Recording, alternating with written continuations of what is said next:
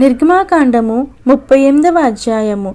మరియు అతడు తుమ్మకర్రతో దహన బలిపీఠమును చేసెను. దాని పొడుగు ఐదు మూరలు దాని వెడల్పు ఐదు మూరలు.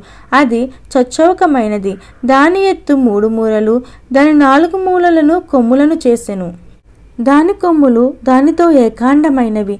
దానికి ఇత్తడి రేకు పొదిగించెను.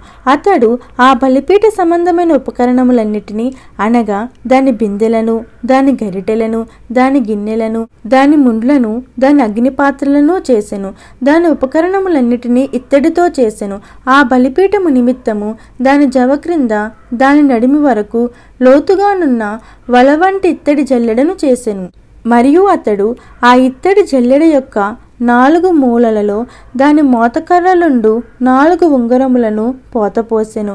ఆ మోతకర్రలను తుమ్మకర్రతో చేసి వాటికి రాగి రేకులు పొదిగించెను. ఆ బలిపీఠమును మొయ్యుటకు దాని ప్రక్కలనున్న ఉంగరములలో ఆ మోతకర్రలు చనిపెను. పలకలతో బలిపీఠమును గుల్లగా చేసెను. అతడు ప్రత్యక్షపు గుడారం యొక్క ద్వారమున సేవింపవచ్చిన సేవకురాండ్ర అర్థములతో ఇత్తడి గంగాలమును దాని ఇత్తడి పీటను చేసెను. మరియు అతడు ఆవరణము చేసెను కుడివైపున అనగా దక్షిణ దిక్కున నూరు మూరల పొడుగు గలవియు పేరిన సన్ననారవియునైన తెరలుండెను. వాటి స్తంభములు ఇరువది వాటి ఇత్తడి దిమ్మలు ఇరువది. ఆ స్తంభముల వంకులను వాటి పెండె బెద్దలను వెండివి.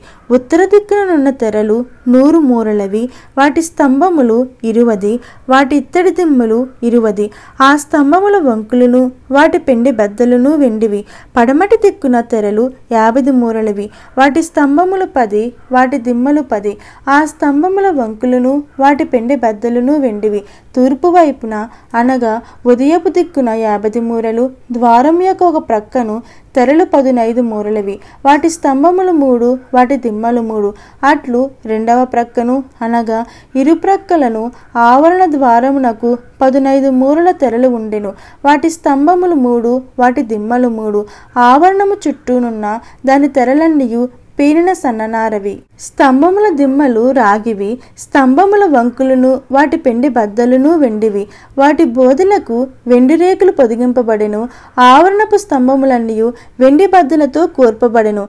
ఆవరణ ద్వారపు తెర నీల ధూమ్ర రక్తవర్ణము గలదియు పేరిన సన్ననారతో చేయబడినదియునైన బుటా పనిది. దాని పొడుగు ఇరువది మూరలు దాని ఎత్తు అనగా వెడల్పు ఆవరణ తెరలతో సరిగా ఐదు మూరలు. వాటి స్తంభములు నాలుగు వాటి ఇత్తడి దిమ్మలు నాలుగు. వాటి వంకులు వెండివి వాటి బోధలకు వెండి రేకు పొదిగింపబడును. వాటి పెండె పెద్దలు వెండివి మందిరమునకును దాని చుట్టూనున్న ఆవరణమునకును చేయబడిన మేకులన్నీయు ఇత్తడివి.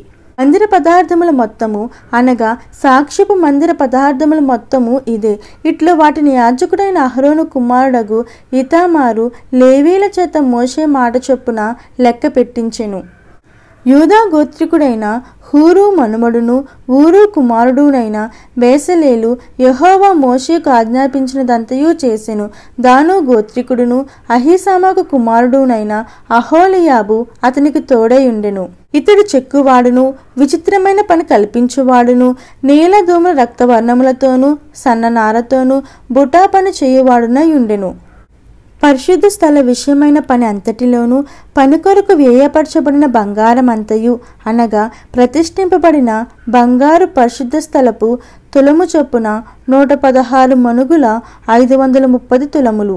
సమాజంలో చేరిన వారి వెండి పరిశుద్ధ స్థలపు తులము చొప్పున నాలుగు వందల మనుగుల వెయ్యిన్ని ఐదు వందల డెబ్బై ఐదు తులములు. ఈ పన్ను ఇరవై ఏండ్లు మొదలుకొని పై ప్రాయము కలిగి లెక్కలో చేరిన వారందరిలో అనగా ఆరు లక్షల మూడు వేల ఐదు వందల యాభై మందిలో తలకొకటికి అరతులము.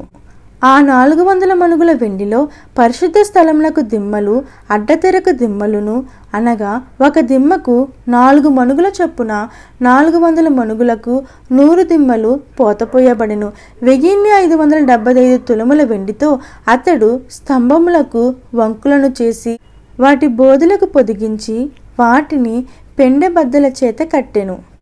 మరియు ప్రతిష్ఠింపబడిన ఇత్తడి రెండు వందల ఎనిమిది మణుగుల రెండు వేల నాలుగు వందల తులములు.